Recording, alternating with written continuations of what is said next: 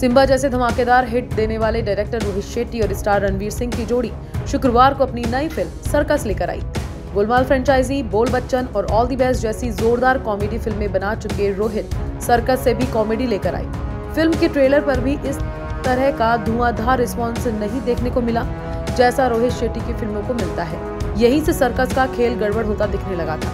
अब फ़िल्म के पहले दिन की कमाई सामने आ रही है, आंकड़े जो बता रहे हैं, उस हिसाब से सर्कस पिछले एक दशक से जोरदार हिट फ़िल्में दे रहे रोहित शेट्टी और रणवीर सिंह दोनों के लिए थोड़ी सी उदासी लेकर आती दिख रही है। लॉकडाउन के बाद बॉलीवुड को पहली बड़ी हिट सूर्यवंशी देने वाले शेट्टी की फ़िल्म बॉक्स ऑफ़िस पर इतनी फीकी पड़ जाएगी, ये उम्मीद किसी ने नहीं की थी। शुक्रवार के बॉक्स ऑफ़िस कलेक्शन की शुरुआती आंकड़ों के अनुसार सर्कस ने पहले दिन सात करोड़ पचास लाख रुपए और आठ करोड़ पचास लाख रुपए के बीच ही कमाई की है।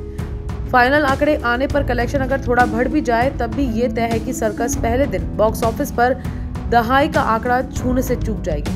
अभी तक रोहित बॉलीवुड के उन डायरेक्टर्स में से एक थे जिनकी पिछली सभी फ़िल्में एक से बढ़कर एक हिट रही थी। उनकी आखिरी फ्लॉप फ़िल्म संडे थी, जो 2008 में आई थी, यानी पिछले 14 साल में रोहित ने एक भी फ्लॉप फ़िल्म नहीं लेकिन सर्कस के फ्लॉप होने से उनके इस रिकॉर्ड में एक डेंट पड़ने लगा है।